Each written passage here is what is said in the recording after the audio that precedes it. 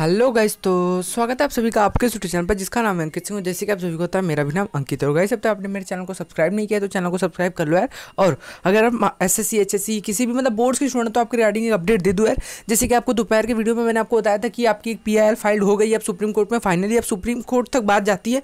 तो हाँ मतलब पक्का पता चल जाता है हाँ ना, कुछ तो मतलब स्टूडेंट के बारे में भी हित में कभी कभी आंसर आते हैं। तो मैं आपको बता दूँ यार कि बोर्ड एग्ज़ाम में जो पी फ़ाइल की गई है एस सी सुप्रीम कोर्ट में, वो वो देखो मेन तो जो एडवोकेट अनुभव श्रीवास्तव है, जिनकी वीडियो जिनको जिनकी बात मैंने हर वीडियो में बताते रहता हूँ कि वो पिछले साल ही उन्होंने स्टूडेंट को सपोर्ट किया था तो इस साल भी कर रही हैं तो उनके साथ मिलकर सुप्रीम कोर्ट में जो है पीआईएल फ़ाइल किया गया है। ये पहली अपडेट हो गई। फिर बहुत सारे स्टूडेंट पूछ रहे थे कि सर पीआईएल जो फाइल्ड हुई है सुप्रीम कोर्ट में, उसकी मतलब जैसे हियरिंग कब होगी? तो देखो यार, इसके रिगार्डिंग अभी कोई अपडेट नहीं आई, क्योंकि आपको पता है सुप्रीम कोर्ट में बहुत से केसेस होते हैं तो जल्दी हियरिंग नहीं होती है, पर जो भी है ऐसे केस में, क्योंकि आपको पता है बोर्ड के एग्ज़ाम बहुत नज़दीक आ गए हैं तो हियरिंग जल्दी हो जानी चाहिए।